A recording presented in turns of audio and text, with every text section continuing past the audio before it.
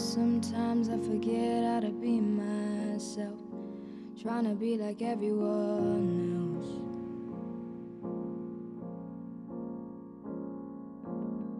It was easier in the younger days, not as much to be afraid of. Trends seem to be Whatever happened to connection? It's hard not to feel like you're alone when it seems like you're the only